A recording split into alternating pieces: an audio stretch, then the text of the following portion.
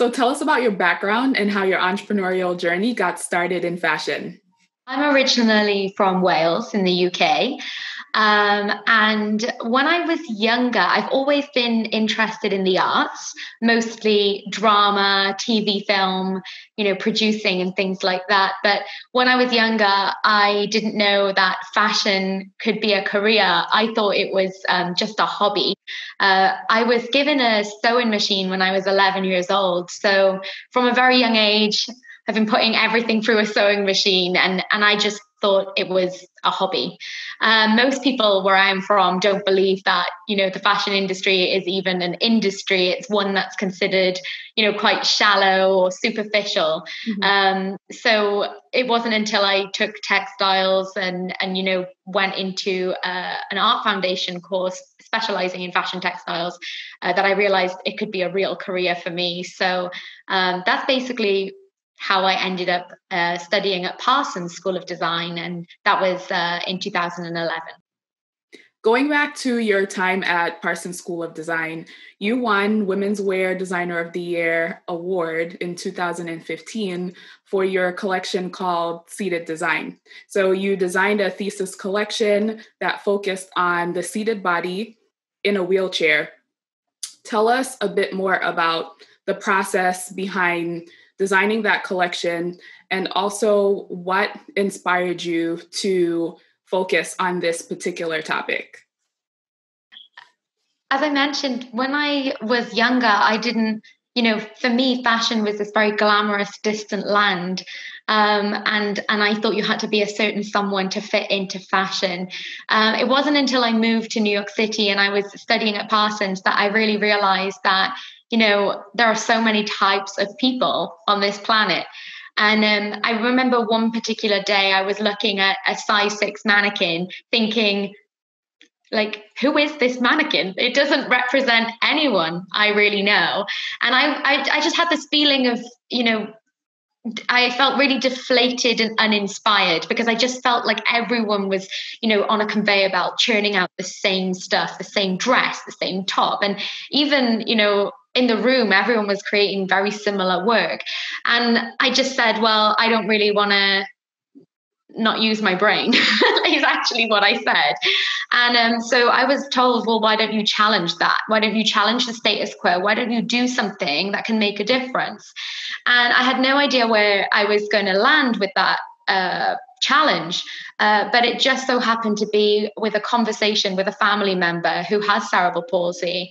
And I had realized it had gone, it had taken me 20 years to ask my cousin, you know, really personal questions about how he got dressed each day. And and that's when i realized that that was a problem in itself that i hadn't even asked him you know about his needs and it's specifically to something that i do or wanted to do for a living which is create clothes.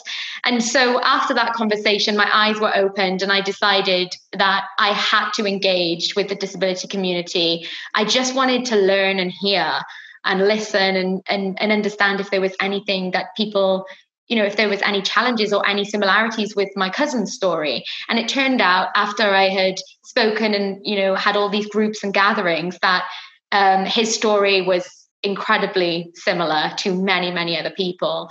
Um, and that's when I started working with a, a, lady who has multi sclerosis. Her name is Ronnie Ellen Raymond, a dear friend and mentor of mine. And and um, that's when I got to learn a lot about her life and and you know really what she would want to see out of the fashion industry and um, the modifications she would like to see made in clothing. And and that's how seated design uh, came about. Um, I'd said even when I was graduating um, this was an unfinished collection. Like I just I remember like feeling embarrassed because I hadn't finished.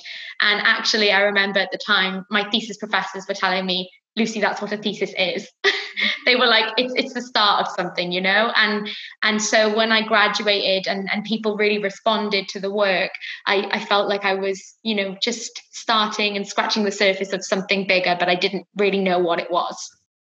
So now you've completed your senior thesis at Parsons and you're making your transition out into the industry at large.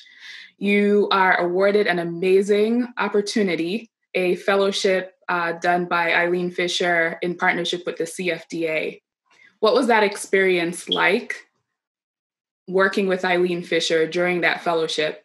And what sparked the decision uh, in you to take the leap and start your own business following that fellowship? Because you gained a lot of momentum early on after you graduated from Parsons and got a lot of exposure. You could have worked at any major company and built out a traditional career in fashion. Why did you decide to start your own business at this early stage in your life? I uh, I never ever set out to own my own business. I never did. I never wanted to. I always wanted to be a designer that had a legacy, um, whether that was within a company, but I just never thought of the responsibility of, um, you know, owning my own company. So, as you mentioned, when I was graduating, I did have job offers, and um, even navigating that and choosing, um, you know, where I would go um, was a scary um, concept to me. But I did know one thing was I wasn't going to leave Parsons and start my own uh, brand there and then because I felt like I wasn't equipped. I had no idea what I was getting myself in for. Um, so when I I knew I wanted a job because I wanted to you know have more experience under my belt. I wanted to learn under someone. So when the CFDA teamed up with Eileen Fisher, I mean, I'm I'm so lucky because Eileen Fisher is a real leader. Like to have worked in that company, to meet the staff, to see the difference she is making to the world and the way other companies think, the way she shares her resources. For me, I just couldn't believe the Eileen effect. Um, that's what we used to call it, the Eileen effect on everyone. It was this real, like, that woman is amazing. And when she walked into a room, it wasn't like, you know, in some designers who walk into a room everyone sort of like gets a bit nervous or is like, oh my goodness, the designer's over there Eileen is, don't mind me, like, you know, just the most effortless woman. And I just thought that is a true leader, that she knows how important her staff are to her. She knows that, you know, without them, nothing's possible, but she's the one who inspires them. And for me, I just thought that was an incredible experience to have learned a lot about operations, leadership, sustainability, um, product pricing, uh, you know, things like shipping duties, uh, import, export, anything and everything in between. And then, of course, creating our, own collection.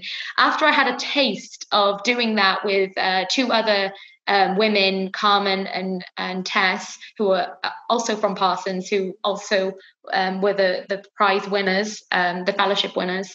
Um, it was like we got a mini taste of what it would be like to to run our run our run our own thing, I guess. And uh, I was scared, but it, it propelled me to say, okay, I think I've got the most holistic, you know, view of of everything, not just design, but what all the other things that fit in between. And and so after that, it was um, I wasn't sure where I was going to go, but I just I will never thank Eileen Fisher and the CFDA enough for um, that year that I learned all of that. That fellowship sounds like it was such an amazing experience and foundational part of your journey. Now, when you started FFORA, a lot of the foundational data and research that you needed in order to create the right products for the disabilities community wasn't readily available. You had to go out and build this foundation and also create frameworks in order to serve that community. Tell us what that process was like building a business and entering this new untapped underserved frontier yeah thanks. That was um it was really daunting but um i i feel i feel like when i was younger um, moving, you know, moving away from my family home as well. Um, my grandfather used to say to me, "That girl's got guts," and so whatever I wanted to do, I knew that I had to be gutsy about it.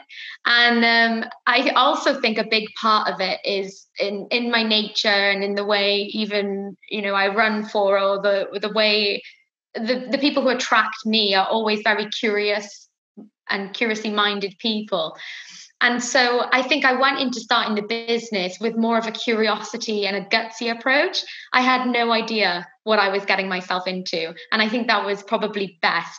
Everything I have done um, in my career to date has been a complete unknown. And it's just been a lot of throwing yourself into the deep end. And, and so I think with, um, you know, starting the business, I also knew that I wasn't an expert at finance and I wasn't an expert at operations and I wasn't an expert at customer service or uh, any of the other things that you need to run a business. So the best part is obviously surrounding yourselves with people who do know those things and and the people who are experts. So I was really lucky that you know graduating from Parsons and then having having met all the people at Eileen Fisher and you know there was just so many people in the in my network that I could email or, or ask advice from and not be afraid to to to ask a, what would be called a stupid question um, and make sure I could really you know pull my resources in and and just learn and learn and learn as much as I can. And I think that was step one. And then step two was obviously I went into an accelerator program called XRC Labs. That was that was even more of a deep end because I felt I was the only person that was actually a designer in the cohort. So there's 10 other companies and everyone had you know expertise in so many other different areas that I knew nil about and so it was really good to like make friends and and and learn from them and and and all the mentors who come through the program. Yeah and it's really good to be able to share like my resources on the design side of things. So i think that was you know what it was like. It was really just you know figuring it out as you go along making sure that you can pull on your network uh, and and attending as many events as possible just to learn and absorb everything you possibly could. So you're not a typical fashion designer you're applying this unique problem solving lens to create beautiful product that has a particular utility function and solves a problem for an underserved community. Let's dive into your product development process a bit more going back to the foundational research uh, that we mentioned previously, how did you go about building that foundation and creating the right products for this community? It's more okay i want to learn i want to listen i want to engage and so this the market research was very interesting because as it turns out um, uh, you know designing for people who have disabilities and when you try to access any market data unfortunately uh, people are bucketed in ways that they necessarily wouldn't even identify with mm-hmm. so e- even if you want to know how many people use a wheelchair uh, in the world um, some countries don't unfortunately have wheelchairs or don't have the right terrain to offer wheelchairs. So you will never truly get the data, um, which is a, problem in itself. Um, and I think, uh, you know, we realized, well, okay, we really have to just create the data ourselves. Um, we also realized that we were going to get it wrong that was also we we were just like when we couldn't access any data or we couldn't figure it out we were just like let's take the risk and figure it out as we go along so we worked with many different people different ages different occupations different abilities different genders different you know ethnicities different cultures. And we heard a range of contrasting opinions because we weren't just trying to uh, design something um, that had i guess that had a very strong well it has a strong aesthetic but we didn't want it to, you know, when you look at brands, like for example I would say Tommy Hilfiger's preppy. Um, and you know, you look at other brands and you would say, oh, they were minimal. We had to be careful on on uh, how to create a product that would suit all these people, mm-hmm. which is very hard to do. So what we did was we looked at the brands that we thought were doing it, and of course we looked at Apple, we looked at Lego, you know, brands that understood play, playfulness, intuition, you know, design that you can't quite put your finger on it, but you you think it's nice to look at, sort mm-hmm. of design. And and so going into these meetings, we realized that whatever we did, the end result had to be open-ended and playful. We weren't here to dictate someone. We were here to say we want to offer tools and we want you to feel that you can express yourself using our products Um, but we also noticed that throughout this pro- process, something that I did during, like just to be clear, like this was during like uh like user testing. Yeah, sorry. Yeah. So through user testing, um, we started to realize all these findings that we hadn't set out for in the beginning. Um, and, you know, the, the doing all of these, having all of these gatherings and interactions uh, made us realize that we were developing like true relationships with our customer and that inherently would impact any d- business decision. Um, the market research is still wavy. We I, we're still learning and we're still developing it now that we are in the market. Um, and now, the more that people know who we are, the more willing people are, and other companies, private companies, are to share their data with us, which is amazing. Um, but just in terms of propelling the business forward, having all these focus groups, interactions with the people and the user testing and all the people that we aim to serve has meant that our stakes are higher because our business decisions now have a face to them as well. Like, what would so and so feel about this? They really are like very much part of the company. So we it's very it's it's almost good. It's easy to make a, des- a, a, business decision because we know our audience so well but it also makes it that little bit harder when you feel like you've got these genuine friendships and emotions on the line as well so i think that's something i didn't expect um, which makes me think we're onto something special so let's circle back a bit to your thesis collection seated design just so everyone can see the evolution from that point to where you are now with FFORA. Seated Design focused on apparel. Now tell everyone what types of products that you create at your current company FFORA? So I started designing apparel, um, which consisted of jackets and shirts and, and, things that had easy openings and clothes that were easy to put on and take off. Um, and it evolved into accessories, um, accessories specific to wheelchairs. Um, and so the reason being for that was uh, when clothes are on, they're on. I'm not saying there's still not difficulties. Um, there's still, you know, many things that do still need to be innovated and altered. But um, what I started noticing when we started all these conversations was um, a lot of individuals didn't have anywhere to place their valuables or their personal belongings when they were out and about. So a lot of people were um, sitting on phones, wallets, and keys, or having a bag on the back of the the chair, um, which is out of sight. And a, a lot of people said they felt quite anxious having having a bag with their their belongings in when someone could reach in and grab something from their bag um, and and so instead sitting on phones wallets and keys. And and people and my favorite um, was people who have been stashing lip gloss and money in their shoes. And i was like oh my goodness. Um, and so when we started to realize like all these little hacks and like all these ways to hide and store and stash uh, their their belongings, it was uh, oh okay, well we really need to design um, accessories that attach onto mobility devices so people can be more hands free or more accessible and have more control and independence over their things. And then um, it evolved into uh, this is just the most uh, amazing conversation when you're saying, okay, so what do you do with this? And then you start really learning how, you know, people's day to day life is. Um, what do you do with a hot cup of coffee?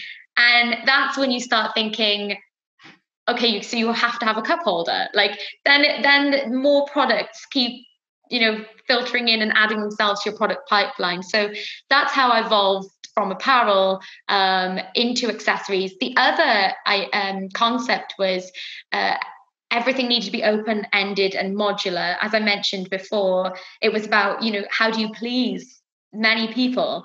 Um, but also, this isn't exclusive. The brand is designed for people who have disabilities and who predominantly use wheelchairs. That doesn't mean that's our end goal. It means that we care and we have put our effort and our investment to people who have disabilities first and not as an afterthought.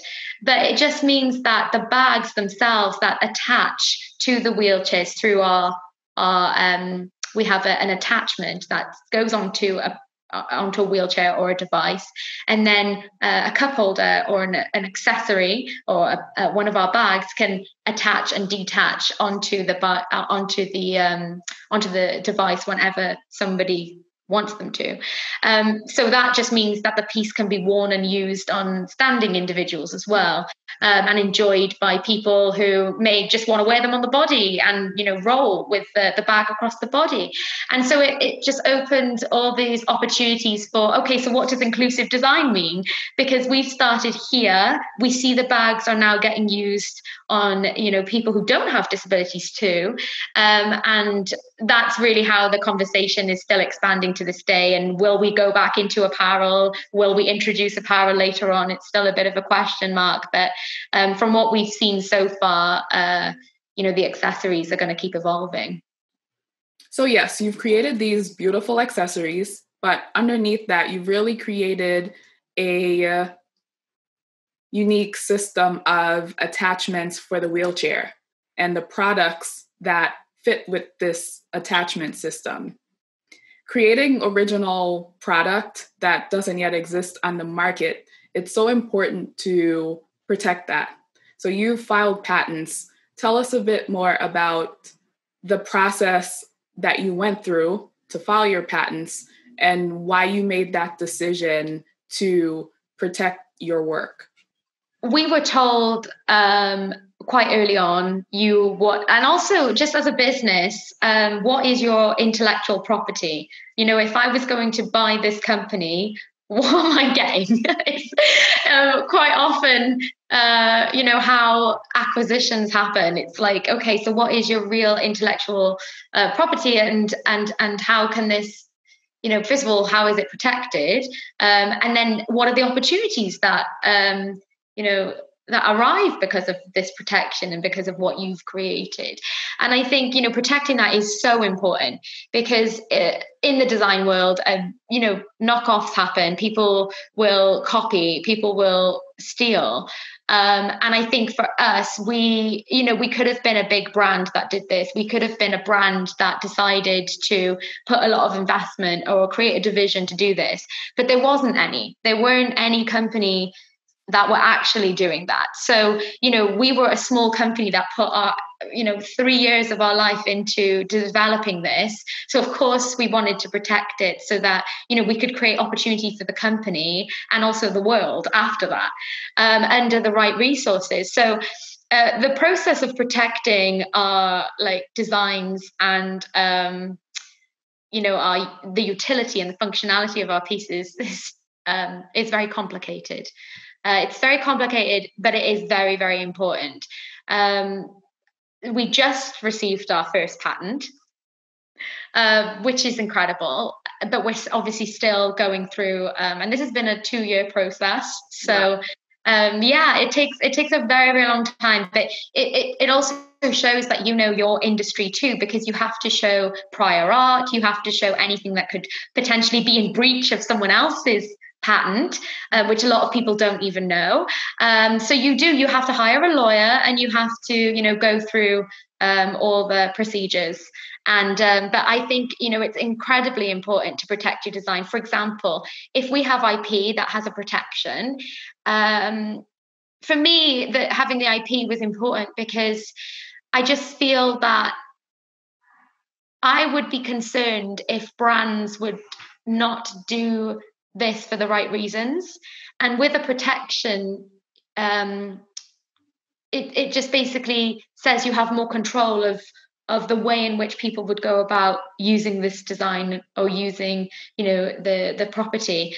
Um, and you'd have more control uh, over that. And and therefore i felt like that would create um, better change and not fall into the wrong hands. And that was the way i always looked at it. Like i don't want to harm a community here like we want to make sure everyone can benefit. So so how do how do we now partner with companies and license out this ip so that other companies can do it with their resources? And that was quite important as a business but also culturally and socially as well. So going back to the point that you brought up about protecting the community that you serve you've really made a conscious effort at every step of the way to include the disabilities community in your design process. Why is that an important part of your brand's ethos? Why is that important to you? Well, first of all, people aren't stupid customers aren't stupid they can see through everyone can see through everything and you um, when things are tone deaf it's not it doesn't look good for a company and i think you know making sure that we the, the disability community always a lot of people have a joke because you can tell when a when a company has got it wrong and and really missed the mark. And it's not just the disability community in fact it's any minority. You can always tell when someone has got it wrong and they haven't done their research. So i think for us it's just so important because you know we want to make sure that change is possible. We also want to create opportunity. I think you know we're such a small team. It's three, we're three people. And um, I think creating opportunity, like using my skills and my, you know, I would say the opportunities I've been given to create employment opportunities or to create um, designs that can create a better future and a better livelihood for someone is is crucial. And so having the feedback and making sure we're constantly listening but also ready to to say that we've done something wrong and ready to say and admit that you know if we have missed the mark learn from it. What have we done? How can we change? And how can we make sure that this never happens again?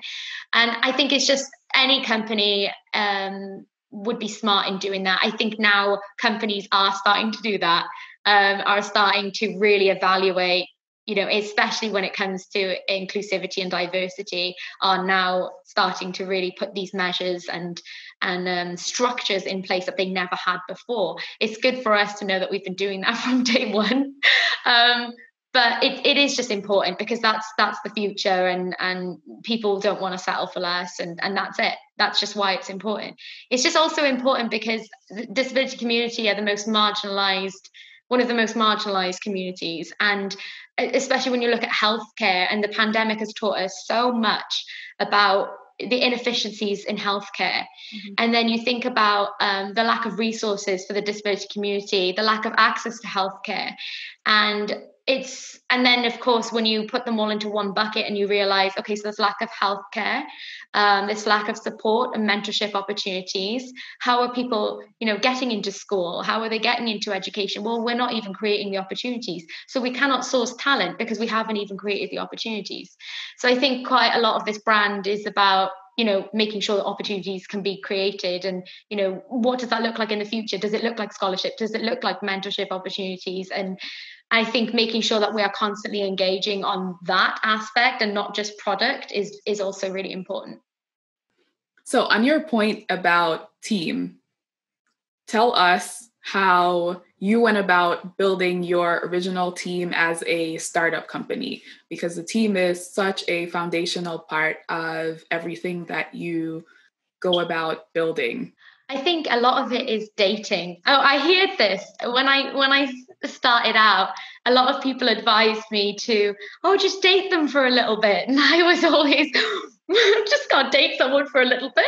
But it's it is true. You really have to find a flow with someone, and you really have to if you, especially in the startup, the hours you put in are 20 24 7 sometimes and around the clock so it really is the, the, the first bunch of you are really are a marriage you just you're in it together you go through the highs and the lows together you go through all the mini wins and all the trials and um so actually the first person uh, who really came onto the team was Jonas Kaustila. He is a an incredible industrial designer, and he was, um, you know, the first employee uh, and and I guess I consider him my design partner.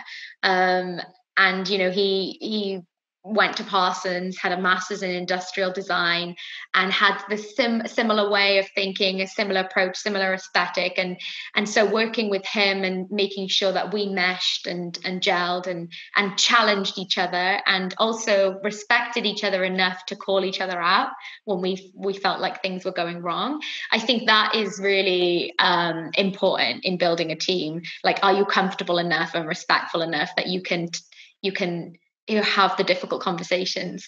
Um, and then everyone else like so you know there wasn't just there's three of us but um, throughout the process, there were obviously, I would say, probably about 40 people have actually touched this company and, and impacted what it is today. So it's not, it's eh, okay. So on paper, we're three, but we're actually so much more than that because there have been, you know, people who did branding with us.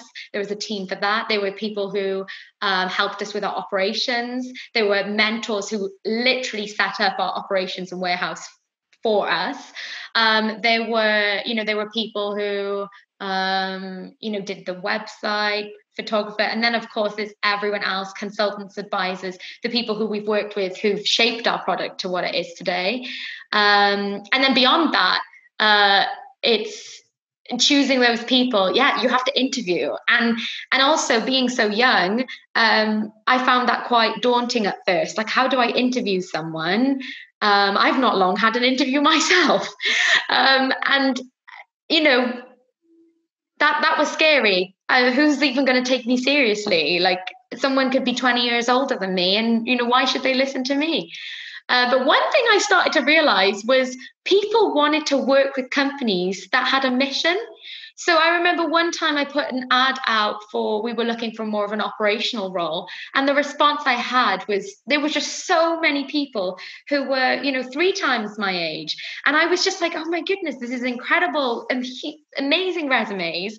I'm not equipped to interview these people. Um, and so that's when you really have to make sure that you've got amazing mentors and advisors who are experts at what they do, who can step in and help you with that process and who can join interviews or even, you know, do the interviews on your behalf and make sure that you have that you all know what you're you're looking for and it's very well communicated so that communication is is is very important um because at that point as well, being young and being a young entrepreneur, you don't know what you don't know. So you know you're going to make mistakes and you know there's going to be things that don't work out, but usually it's mutual. I think there's only been like one occasion where something hasn't worked out, but it was quite mutual. It was like the elephant in the room. And in that case, it's like, oh, okay, we all know, and it and it feels quite good. But um, yeah, building a team is is uh, is a long process, and it's the most important one.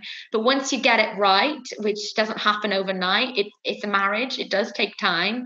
Um, then you've got to hold on to to those people and make sure that you can you can keep going and and learning from from that. So mentors are also such a crucial part of your development as an entrepreneur and for building a business. How did you go about building your tribe of mentors and advisors? Because you seem to have a, a re- cultivated a really great group of people who continue to support you. So it's easy to build these relationships. Tell us also how you go about maintaining those relationships and making sure that everyone is kept engaged over a longer period of time? Okay, so first of all, don't have too many mentors. there was a time when I felt like everyone wanted to help, but I didn't know how they could help. And then I was also quite confused. So that taught me two things. One, I have too many people. Um, and the second one was, what is my ask? You know, what, why is it that I can't figure out where they can help me and that was a big problem in itself. Um, i need to know what my ask is and what what you know purpose a mentor and advisor serves. And i think for me it's nice to keep the the it's nice to keep the group small. Mm-hmm. for me the best case scenario is when you can put if you can feel comfortable putting all your mentors and advisors in one room that's that is really important too. Like to see that energy is is quite important. Um the reason I like the idea of putting everyone together or having a meeting where everyone is in one space is because the conversation, you know, everyone is there for one reason and or everyone is there for a number of reasons, but um, the conversation is so stimulating it's so rich and sparks fly and you've got different you know people who have different experts contributing um, and moments like that are magical. And and so that's what i'm what that's what i'm looking for is will people work together as well? Um, not that people often sign up for that um, but i don't mind bringing them all in together. Um, the other thing in curating mentors is you have to figure out you know what the ask is you know where can they be beneficial. People really need clarity. Um, people really want to know how they can help. So if you can't tell them how they can help then you don't want to waste their time. You know mentors and advisors have you know their time is valuable. And as a founder entrepreneur your time is also valuable. So you just got to be specific and you've got to be clear. So open transparency and communication um, frequent updates it's all very very important. Um, for me i have a lot of emotional supported mentors um, because it can be overwhelming. So i would say one mentor in particular um, she has fallen into uh, being a, an emotional support system for me because she has run businesses. Um, but she's someone who i am not ashamed to pick up the phone and tell her that I'm frightened or um, that I'm I'm worried and about something and and and it's about business and it's about relationship management or or anything like that. And it's so nice to to make sure you have mentors but also know you uh, as a person. I think that's important, very important. And um, everything else, I would say, find mentors who who have an expertise that you don't. So I've got mentors who help me with finance, um, or advisors who help me with finance, uh, marketing. Um, yep, those you know, complementary, filling those complementary. Operate, yeah, operation. Basically everything I'm not. yeah, so that's important. It's like what what am I good at? What am I not good at? What are my strengths? What are my weaknesses? Okay, so these are my weaknesses. Who can can really help guide me with that. The other thing is not to abuse people. Like I wouldn't want to like abuse anyone and they, and just like oh you know pop up every time I need something. That's not going to work.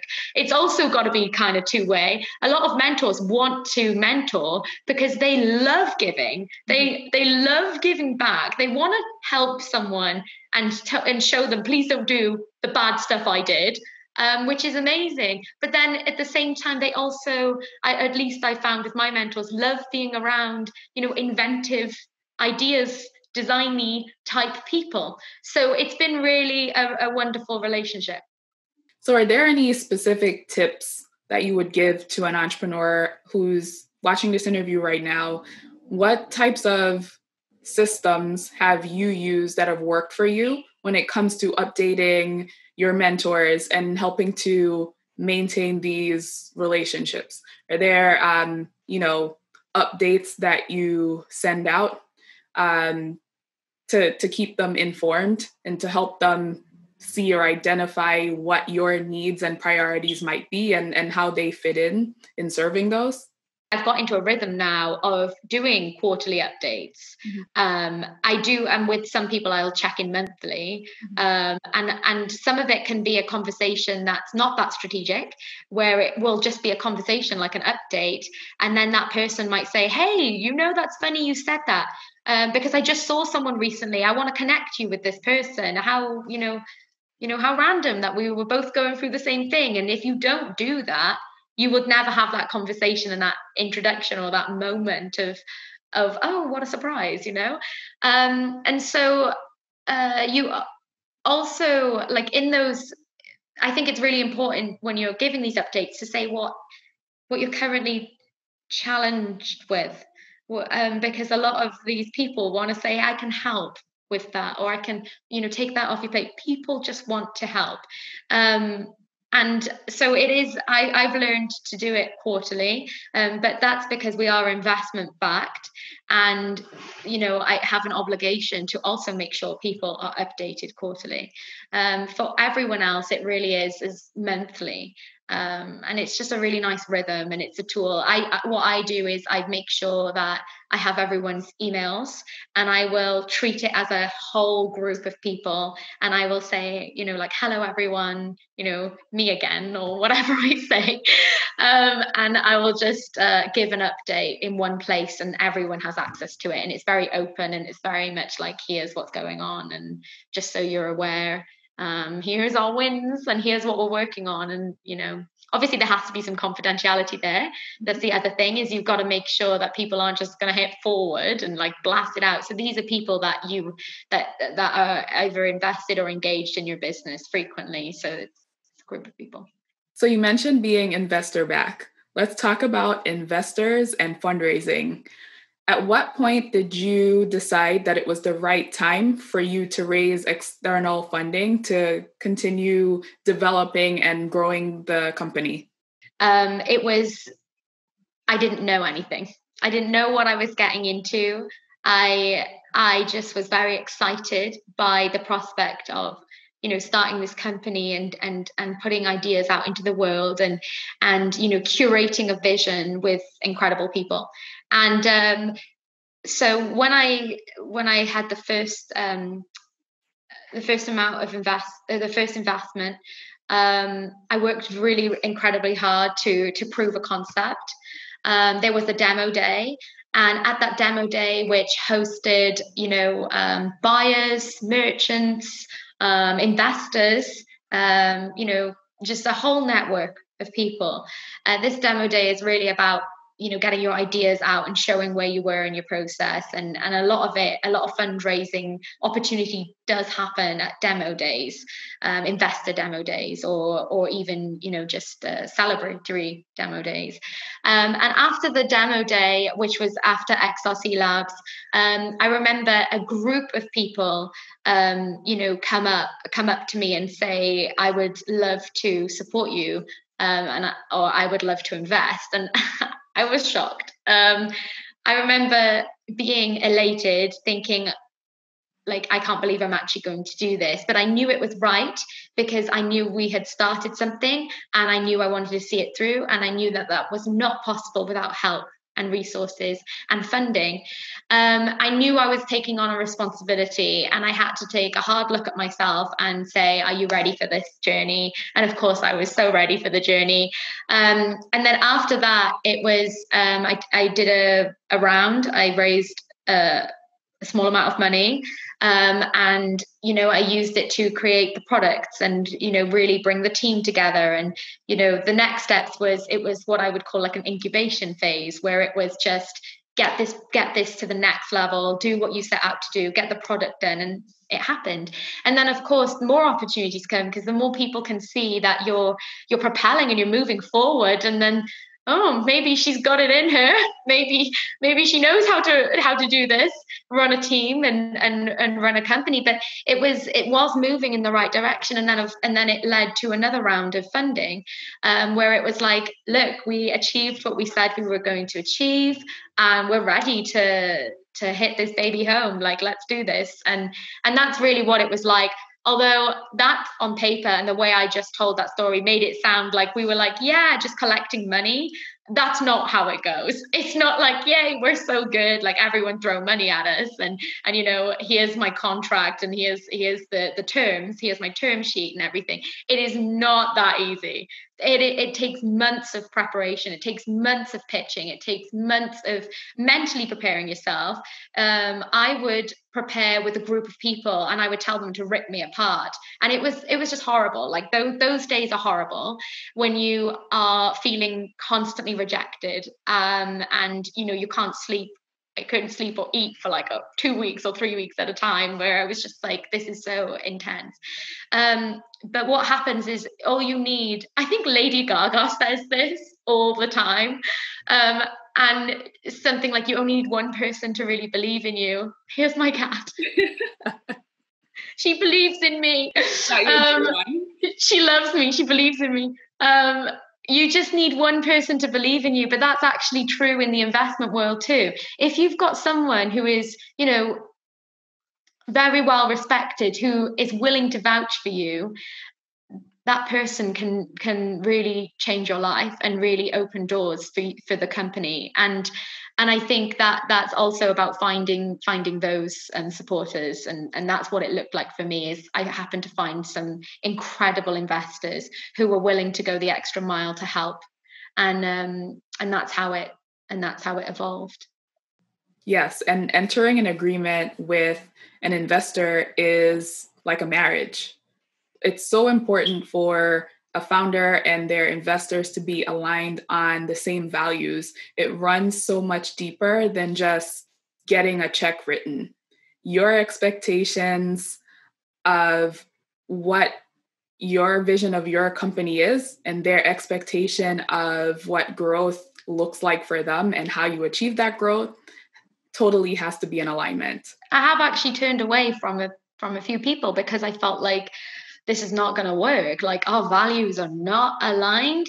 Also, I remember at one point, I am not afraid to talk about this, but I remember when I didn't see any woman in any meeting, that was a red flag to me as well. I remember just walking in and thinking, how are these people even going to understand what we are trying to do? And not just that, it's you do have to look at the build of a team. Like that's important to me um, to see if you know they have team representation, and um, and I feel like that's just as important. You have to do your research uh, on them just as much as they are doing their diligence on you. And so there are times where it's not going to work out and it's not going to be mutual. And then you just have to say, you know, it's not going to work out. Um, and and walk away. I think that's uh, you know that's as important as obviously the money. The money is it, some people will say it doesn't the check size doesn't necessarily matter if the person can offer you a, so much in terms of of knowledge and resource and other non-monetary resources as well. So i think um, yeah it's not just uh, about the money. It's re- in fact it's way more than that. Oh, yeah. Um, expertise as in some cases is important and also their connections because you you need partnerships and other connections to to grow the business aside well that's exactly it. And and again it's kind of similar to the going back to the mentorship and advisory conversation. Um, different investors offer different things. So it's about curating you know can can these investors also work together? I i really do like to curate um, you know create an extended team and that's really what i think is important. Um, luckily i think honestly, I do think we are lucky that everyone who we have involved in the company, um, I think are really, really wonderful people. I really do. I believe in them, and I hope they believe in us. And I, I well, I know they do. Um, but it's just I, I respect, uh, I respect everyone. So um, it's been, even though it's been difficult, it's, it's, um, I think we're in a good place. So, with everything that you've learned thus far on your journey and your experience running a business, what are three key points that you would give to an entrepreneur or aspiring entrepreneur who is thinking about launching a brand today or who's just started a brand? The first is um, have a purpose. The first is to to make sure that whatever it is that you want to do, that you can see yourself doing it for the long haul. I think having a purpose is important because even if a company or a business fails, it should be something that you know you want to continue working on. Um, may not be necessarily a company, but it's a purpose and a mission in life. And for me, I think when I graduated from Parsons, um, with that thesis collection, it started this, you know, fire in me. It really created a, a purpose that was bigger than me. It was, it's much bigger than FFORA. I would say the second thing is, um, like you said earlier, uh, find your tribe. You you can't do it alone. It's a lonely road. Um, starting a business is one of the most isolating experiences that um, you know I've ever had to go through.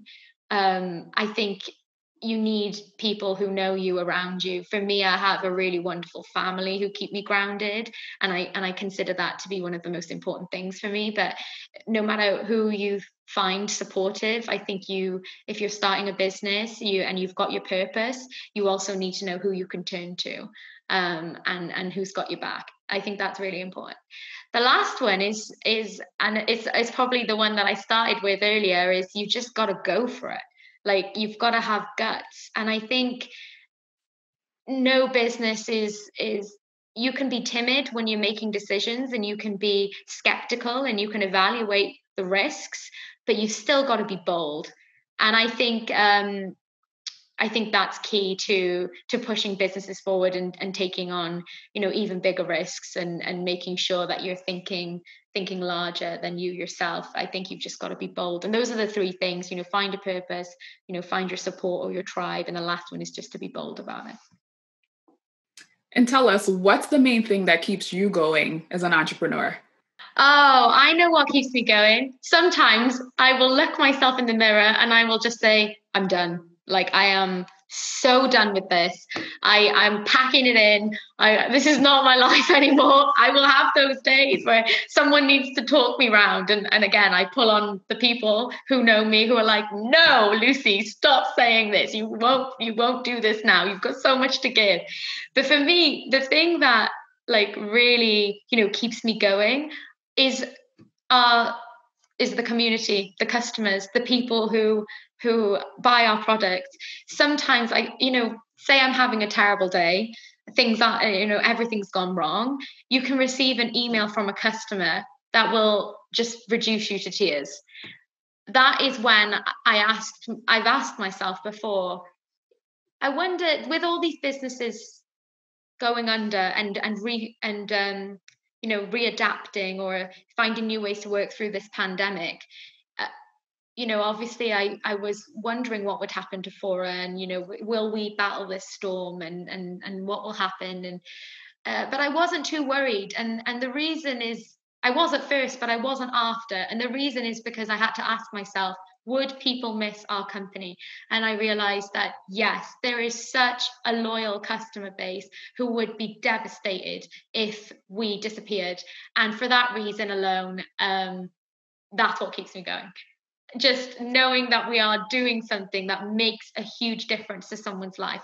So, yeah, an email can uh, change my day, just like an email from a customer that's like, I don't know, my dog help my service dog has been carrying my bag around. And I'm like, oh my God, like we had no idea we catered to animals. Like that was really cool to to to, to see that. But yeah, that's really what um that and again that's probably the purpose side of everything like what's your purpose? Well that was my purpose and the customers reaffirm that and uh, the people who we work with so.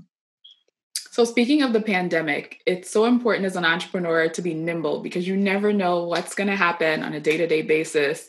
Something is bound to blow up or break at any given moment and this is before covid even happened. This is a regular day so now that we are in the midst of this challenging time that everyone's been trying to navigate, how has it been for you as a business owner navigating this period in time?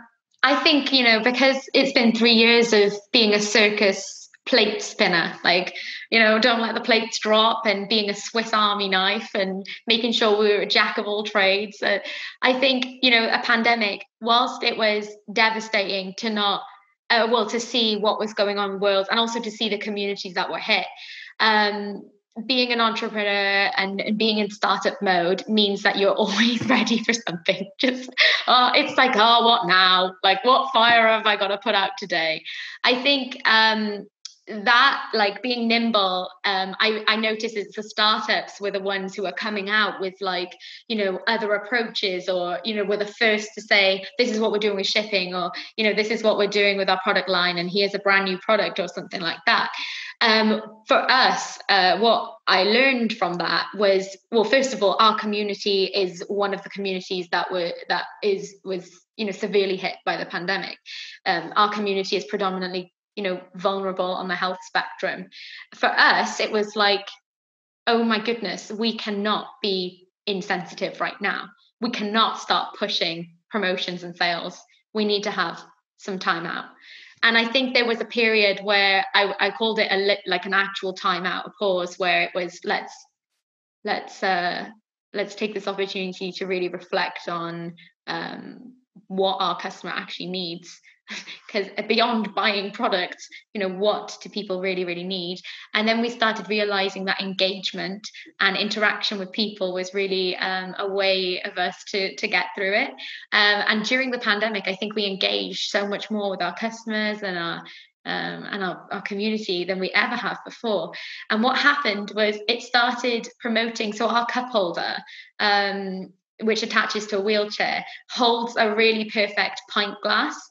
So through the pandemic, we started having alcohol related posts people showing us the cocktails they were making and um, all the DIY they were doing with the attachment and the cup holder that we probably wouldn't have seen otherwise. That spurred new design ideas, um, spurred more opportunities for, oh, wait, what else do people really need around the home? Or what else can we do with our product line?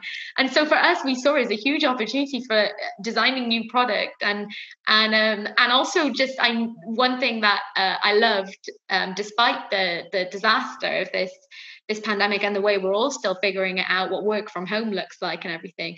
For me it was the humor. That's what I, I think we lived on was there was such a rich humor coming from our audience. Um, you know everyone checking up on each other and making sure each other was okay. But there was this humor that came out of it um, which i didn't expect. Um, you know it was like wine o'clock with the FFORA cup holder or something and just stuff like that just um, made us feel like we were in it together like our customer is our expanded family. Um, and and i think just the just thinking more about people in general um, how we have more understanding for each other because of this pandemic. It sort of hit reset for everyone i think. Um, so yeah that, that was some of the, the learnings. So before we wrap up tell us what you envision for yourself as an entrepreneur. What are some major milestones or achievements that you would like to hit in the near future? What's your ultimate dream? Moving forward, I would like to see that this company has made an impact um, to other businesses. That's really what I would love. Like, you know, we could have been a division in a company, we could have, um, you know, worked or collaborated or injected ourselves as consultants. But I would love to see how a brand can create change to other businesses. I would love to, for me as an entrepreneur, I would like to have more collaborations and more partnerships. I would love to see a major designer take us on and work with us. Um, for me, that's something I want. Like, I want to see a, a well known brand work with us. Um, because I just think we have the most incredible customer and incredible uh, bunch of people um, that any company would be lucky to to work with these amazing minds and um, and see what innovations occur. So i would love that. I just want the opportunity to to work with others. And um, beyond that in in my life i haven't really thought thought further than five years to be honest. Um, i would say i would like to think that um, that soon this won't be a topic of conversation. I would love that it is just so inherent in people's companies that things have to be accessible, that people are hiring people with disabilities, and people are, you know, really, really making robust decisions with, you know, inclusion and diversity, full stop. And and um I'd like to be part of that change. And yeah, that's that is it's a very altruistic, very, very um optimistic viewpoint of the future. All right. Well, I see great things in your future as well. And just want to say thank you so much again for joining us and for sharing your inspiring stories and all of these great tips that our community uh, can benefit from. Thank you, Lucy. Thank you. Thank you for having me.